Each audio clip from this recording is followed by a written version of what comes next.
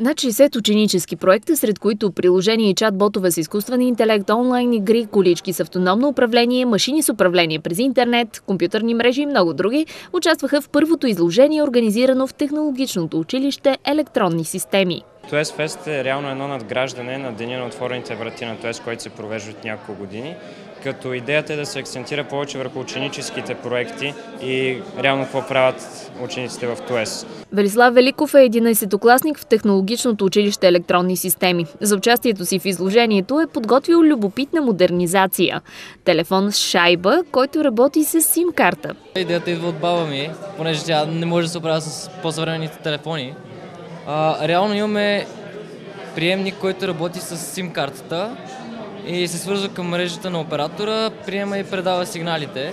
Самите сигнали се обработват от мини-компютър, който се захранва от специална платка. Всички компоненти на модернизирания телефон са свързани от Велислав, който е написал и софтуерния код, с който се управлява сим модула. Владимир Гаристов пък използва изложението, за да направи премиерата на дипломната си работа. Модернизацията на първия български учебен робот Робко 1, който е произведен през 1987 година и управляван тогава от компютрите Правец 8. Владимир обаче прави възможно управлението на робота от съвременен лаптоп.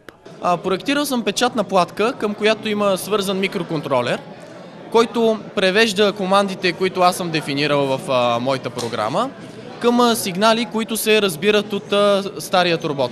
Проектът на Владимир има огромен потенциал заради автоматизацията в заводите. И в бъдеще е много възможно оператора на една машина през интернет от а, обикновен офис да достъпва завода и да подава информация към машината.